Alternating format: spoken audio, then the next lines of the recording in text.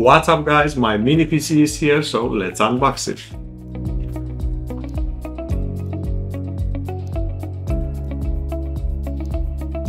I have ordered the Mini S series from Beelink, so let's test it out.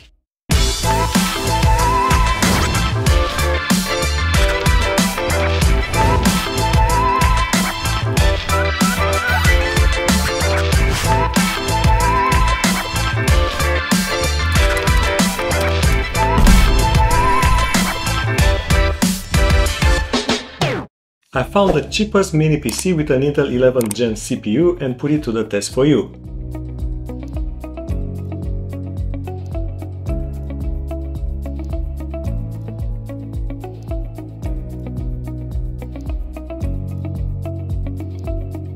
I paid $160 for this on Amazon at a discounted price, as usually it's around $180. We've got here the Beelink Mini S with an Intel Celeron N5095 CPU, which has 4 cores and 4 threads and a maximum frequency of 2.8 GHz. The CPU was launched in 2021 and it's based on a 10nm fabrication process with a 15W TDP. Rest of the specs include an 8GB DDR4 RAM, a 128GB SSD, 5 GHz Wi-Fi and Bluetooth 4. As you can see it's pretty small and the case is made out of a matte blue plastic with the shiny Beelink logo on the top. On both sides we have the air vents for cooling, on the front there are two USB 3 ports, the microphone or headphone jack and the power button. There is actually also a blue LED that shows when the mini PC is turned on and a clear CMOS pinhole. The back houses another two USB 3 ports, the gigabit LAN port, two HDMI ports that support 4K at 60Hz, the power supply connection and the Kensington lock port if you use it in an office space. There is also an air vent on the top of the backplate because this mini PC is actually actively cooled by a little fan which blows into a radiator and you can feel the heat coming out from here.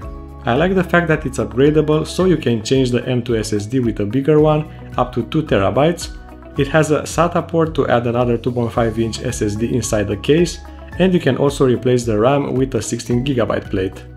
The power usage is very low with a maximum of 36 watts. In the box we also get some accessories like two HDMI cables of different lengths, the bracket to mount it on the back of a monitor and the power adapter.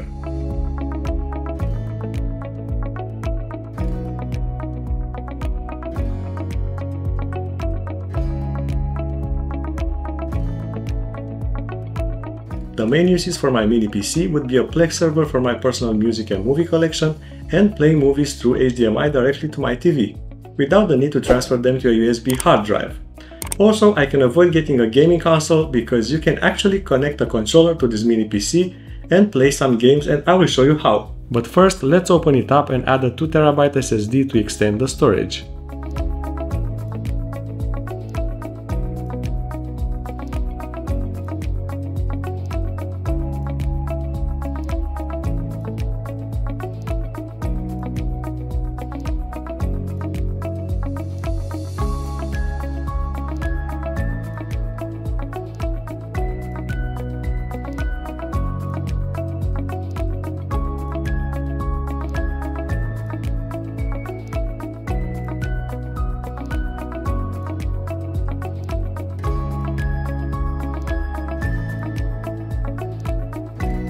Okay, now that we have enough space, let's put it through some tests. They say this CPU is actually 17% faster than the previous gen Celeron CPU. I have managed to get a score of 774 points, so almost 17% faster. CPU temperatures vary from around 50 degrees Celsius while idle to under 80 degrees under sustained load. Normally this should not present an issue over time because of the integrated cooling. Also SSD temps are decent as you can see around 35 Celsius for the M2 drive and around 50 degrees for the SATA drive. The operating noise levels are extremely low, you can only hear the fan when it boots. Using this mini PC for browsing and YouTube playback even at 4K works fast enough. Even when installing apps and doing the usual stuff in Office apps I did not notice any delays.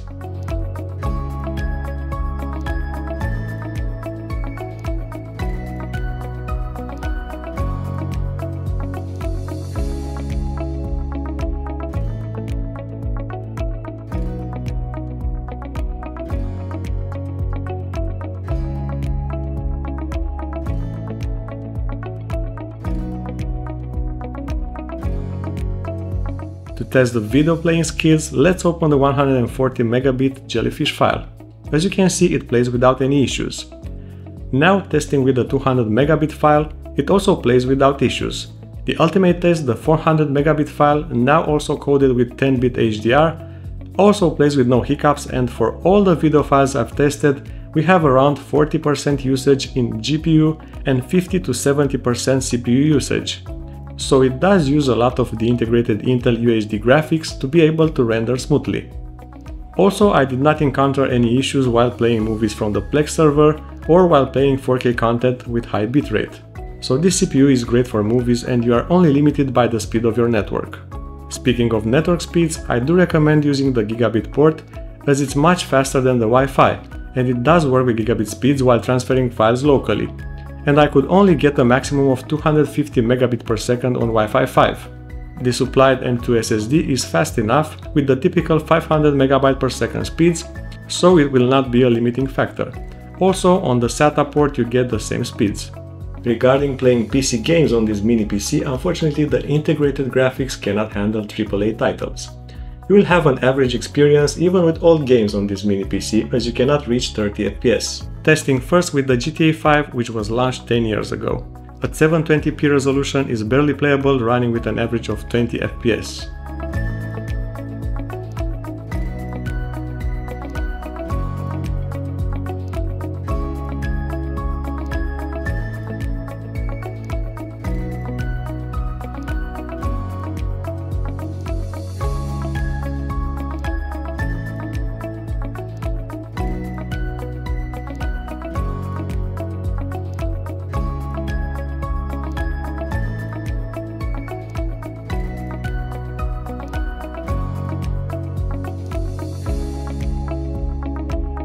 Even with a game like Skyrim, which was launched in 2011, it still hovers under 20 FPS.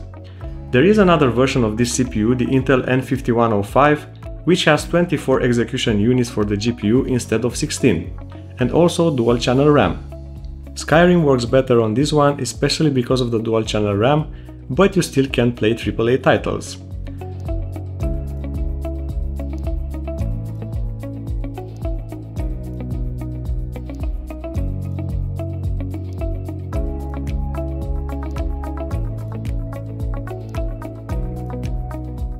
This mini PC can still be a gaming machine if you use cloud gaming and connect it to a TV, specifically Xbox Cloud Gaming.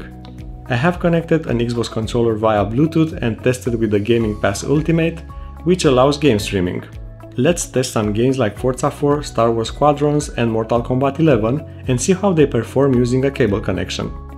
The games run perfectly fine and the CPU usage is really low, so this mini PC could be a nice console replacement for cloud gaming.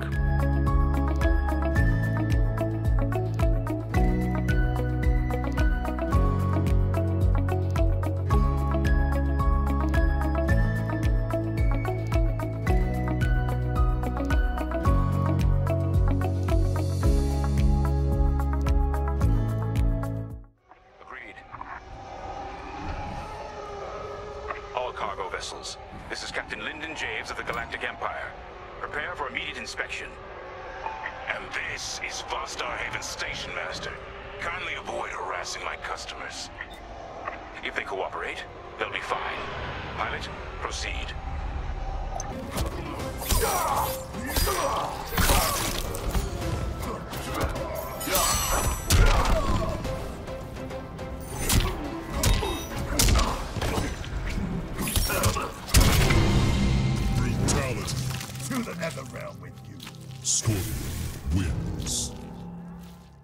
As a conclusion, I think this mini PC is a great overall package that can be used for movie streaming, game streaming and also as a network storage.